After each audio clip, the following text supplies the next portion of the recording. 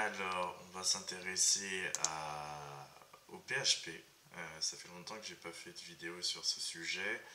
Euh, on va créer un, petit projet que j'ai appelé projet numéro 5. Donc évidemment, euh, on va s'intéresser à la meilleure façon de présenter les choses en PHP, c'est-à-dire de façon modulaire et de ne pas mélanger en réalité différents langages de programmation dans un seul fichier de préférence. Donc dans des vidéos précédentes, je l'avais fait, mais parce que c'était pas le, sujet de la vidéo, c'était euh, de montrer des, particularités techniques euh, sur euh, du login ou du sign-up ou de la vérification d'informations. Donc cette fois-ci, donc on va faire un, peu plus attention aux choses.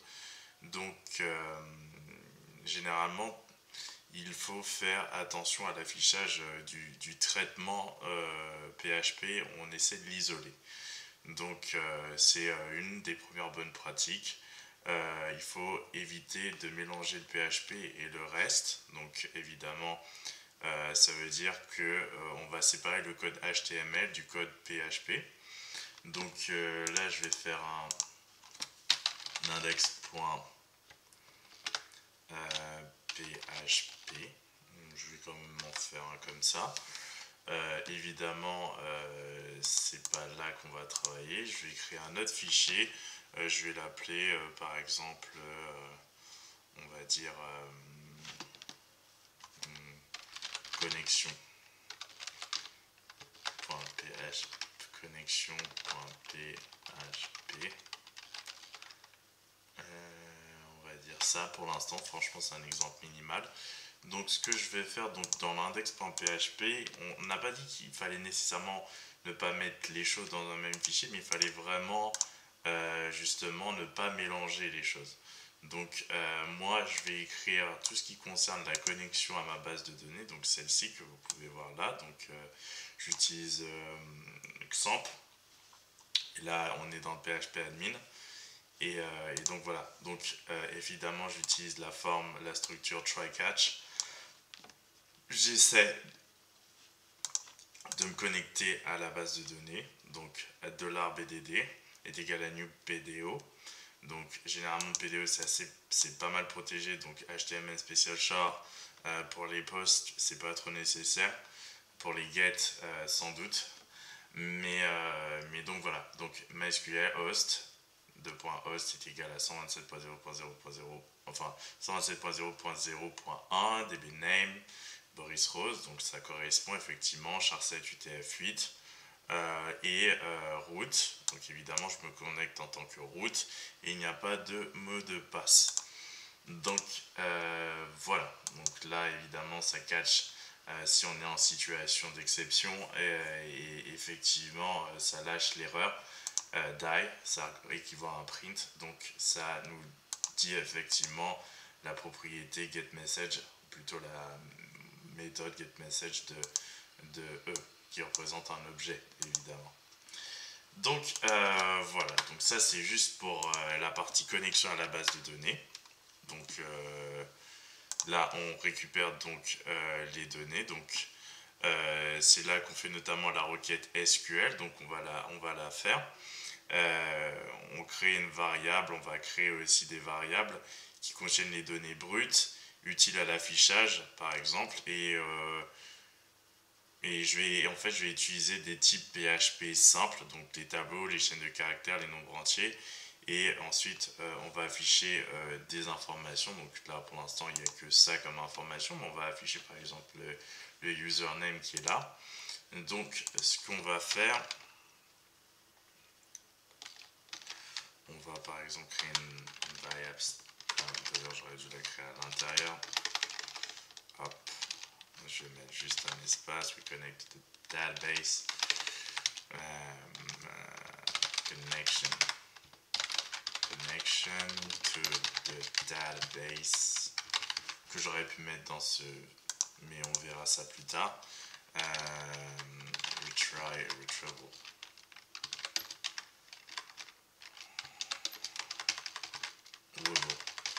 We retrieve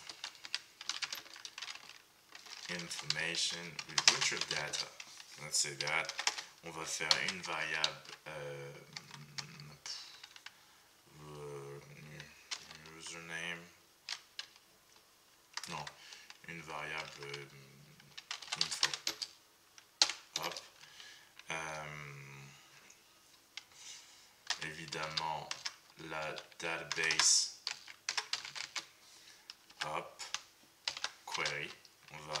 des informations.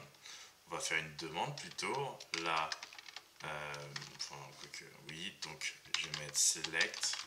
Donc les informations qui m'intéressent, c'est euh, ID, username, email, password pour l'instant. Dans select ID, ID, username, euh, email et password. Donc il n'y a pas toutes les informations que je demande, puisque, quoique si en réalité il y a tout, email, username, email, euh, ID, username, email et password. Donc je demande à récupérer toutes ces informations. Ça, je vais juste le réduire un peu parce que sinon on voit rien. Hop, voilà. je vais peut-être même encore réduire. Ça, je vais l'enlever, on n'en a pas besoin pour l'instant. Donc hop, hop. Donc ça, je récupère ces informations dans la base de données. Euh, password. Alors, hop, hop. Ça, c'est bien. J'aurais peut-être même dû aller à la ligne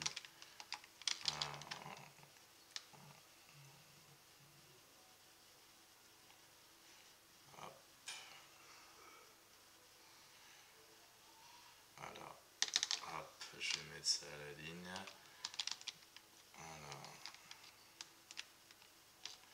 et là je vais mettre un from je vais le mettre à la ligne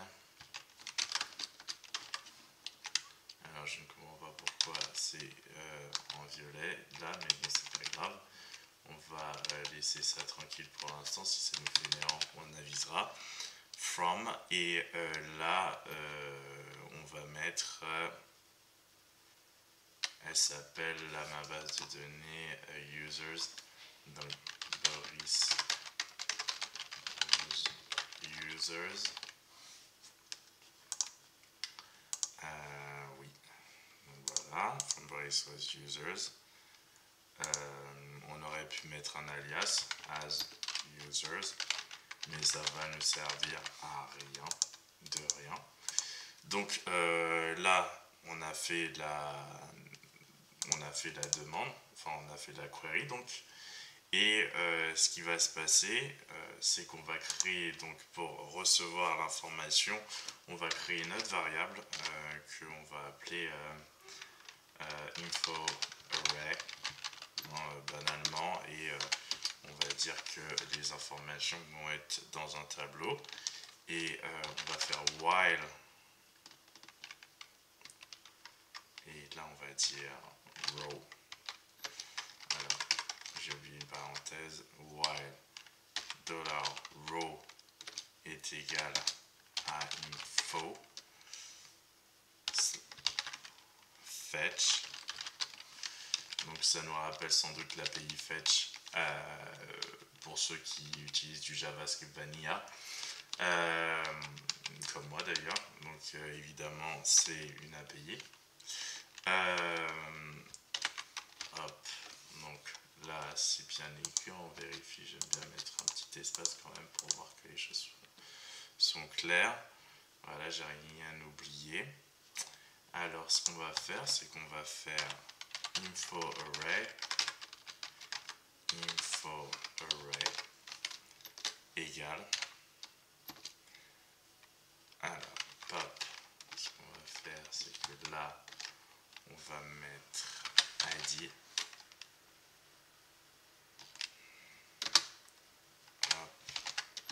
On va voir si ça va fonctionner. Row ID.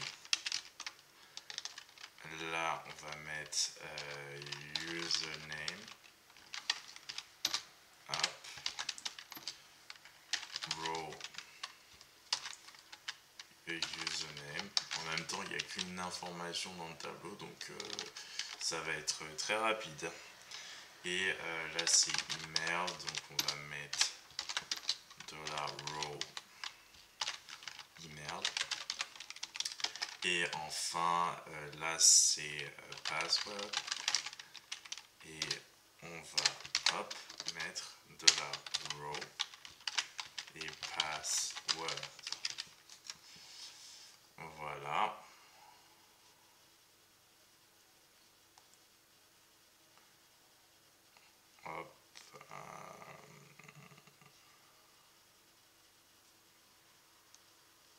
Donc voilà, ça c'est fait. Euh, hop, hop, je vérifie que tout est correct. Donc là c'est bon. Je n'ai rien oublié. Et euh, donc je mets un petit point virgule quand même. Là j'ai sans doute oublié des points virgules. Non, Hop,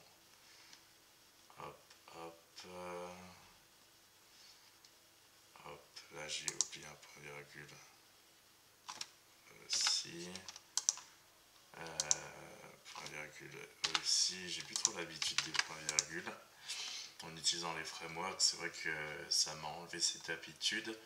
Euh, hop, info array égale et euh, ok.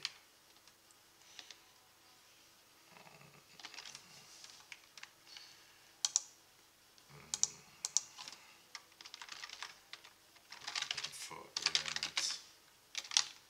Ah, j'aurais c'était bête. Info array element. Et ce que je fais ensuite, c'est que dans info array, je fais égal et euh, hop, info array element. Donc voilà, ça va les rentrer dans, dedans, dans le tableau. Donc euh, là de ce côté c'est fait. Maintenant on va donc j'ai vraiment séparé le PHP et là je vais écrire justement la partie HTML. HTML HTML hop. Euh, d'ailleurs j'ai oublié le doctype quand même. Doctype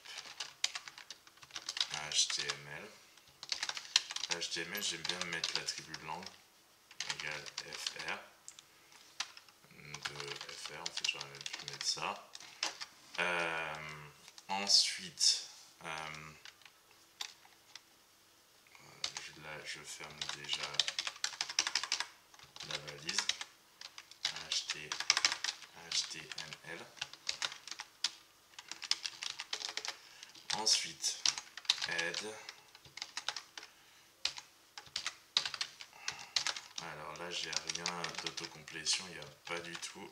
J'ai dû enlever les extensions qui auraient pu permettre de faire ça, mais c'est pas grave. On fait ça UTF-8. Hop, hop, hop, hop. Euh, title, je vais mettre... Euh, hop. Alors, il faut une balise fermante. Hop. Je vais mettre... Euh,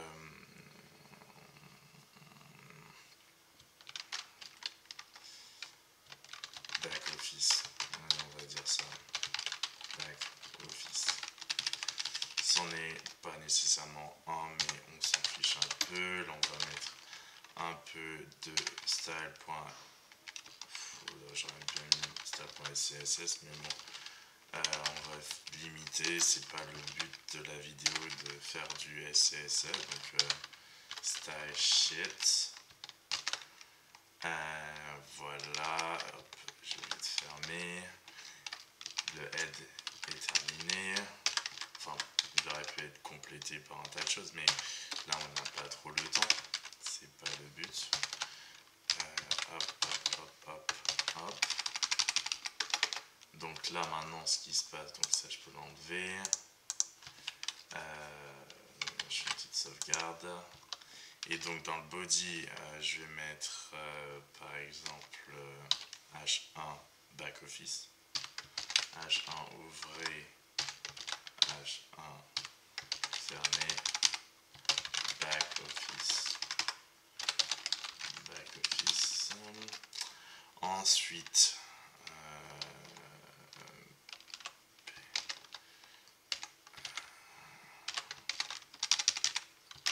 information issue de la base de données. Donc voilà, et là, alors ce que je vais faire, c'est que je vais remettre un peu de, PHP. Je vais utiliser HTML Special Char.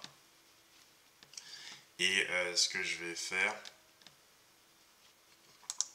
enfin non, c'est même pas nécessaire, mais bon, on va quand même le faire euh, pour l'instant, on va dire. Euh, je, vais, le faire quand même. Donc là, je vais mettre du PHP. C'est totalement normal. Donc vous avez vu que c'est à la même hauteur que les balises précédentes, les autres balises. Comme ça. Et là, ça va être aussi à la même hauteur pour... Voilà. Et là, ce qui va se passer, c'est que for... Je vais utiliser la boucle for each. Sauf que là, for each, il n'y a rien de each. Hein. For each info... Euh, info array as euh, de la info. Ah non, ah non, je, non, each element as, euh, et as c'est notre euh, info array element ou info array. J'ai une tendance à me demander ce que je vais préférer. alors, non, en fait, c'est c'est le non c'est info array et là je vais mettre as info j'espère que ça pas for each as info. Et euh, ce qui va se passer c'est que je vais ouvrir et je ne vais pas fermer. Donc là c'est ouvert. Je m'écarte. Division. Place égale euh, info divin, je vais pas non plus euh, hop, mettre autant. Et évidemment, je la ferme déjà. Hop, hop, hop. Et là, je vais faire un, H, euh, paragraphe, paragraphe, paragraphe, paragraphe. Et là, je vais faire dans paragraphe, hop, encore un PHP que je vais déjà refermer juste en dessous. Et euh, dedans, quoi que j'aurais pu fermer juste derrière, non même pas besoin, hop. Et là je vais faire echo, donc euh, quand même j'utilise une HTML spécial char comme d'habitude, hop. Je vais utiliser la variable, euh, j'ai appelé ça info, info, et dans info je vais mettre id, hop, info id, fermez la parenthèse, point virgule, donc rien de particulier. ça dans des paragraphes à chaque fois. Donc, euh, hop, sauf que là, ça va pas être info ID, là, ça va être info username. Hop, on fait au plus simple. Là, ça va être info email. Hop, et info password. On va, voilà. j'aurais pu mettre une classe pour... Euh, alors, je vais juste rajouter un petit truc. Euh, color pour euh, classe égale euh, username color classe égale info email color et euh, classe égale password call. Donc, ce que j'ai fait, c'est qu'il va falloir que, donc ça on s'en sert pas tout de suite, donc hop hop, corbeille, on va créer le style alors id, on va mettre ça en color hop, on va même changer un peu le bleu, on va mettre un, un bleu un peu plus tranquille, un peu plus, voilà. Euh, on va mettre même une, ouais, je vais appeler ça color, on va rester zen quand même. Hop, hop, hop. Ensuite, euh, il y avait username, color, hop, euh, couleur, et on va mettre du green. On va mettre un green aussi gentil. Hop. Là, on va mettre email color. Hop, color, on va mettre orange. Hop, mais un autre orange que celui-ci. hop. Et enfin, password color. Et je vise en couleur purple. Mais pas ce purple là du tout. Un purple plus euh, sympathique. Voilà. Donc euh, c'est fait pour les différentes couleurs. Comme ça on va reconnaître les informations. Euh, donc voilà je vais mettre une classe similaire sur info border. Euh, info style. Je vais faire ça plutôt comme ça. Hop, copier. CTRL V.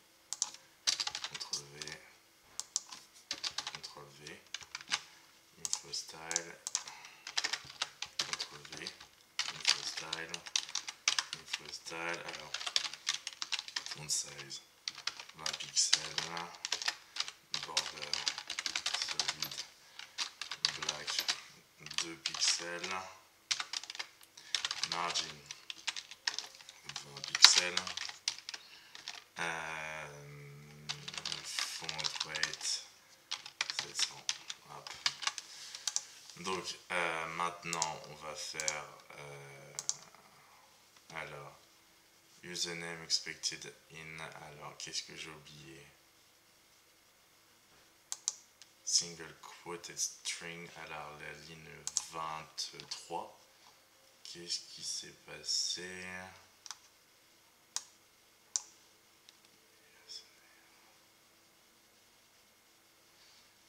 Alors, la ligne 23, c'est quoi le problème? Ah bah mince, je suis bête. Ah.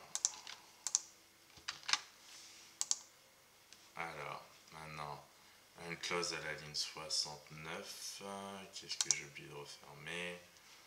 Euh, HTML body, c'est fait. Ah, ah oui, oui. Euh, alors. donc ça je l'ai mis for each. J'ai oublié de refermer donc je suis obligé de refaire un PHP de fermer euh, hop ça et de fermer la partie PHP voilà donc les informations s'affiche euh, très très bien. Euh, c'est-à-dire que là, on voit bien que l'ID c'est 15, pour Alex c'est 10, username c'est Boralex, email c'est boris.alexandre et mot de passe. Donc tout s'affiche correctement. Donc ça c'est une première vidéo, mais on va poursuivre avec une prochaine vidéo.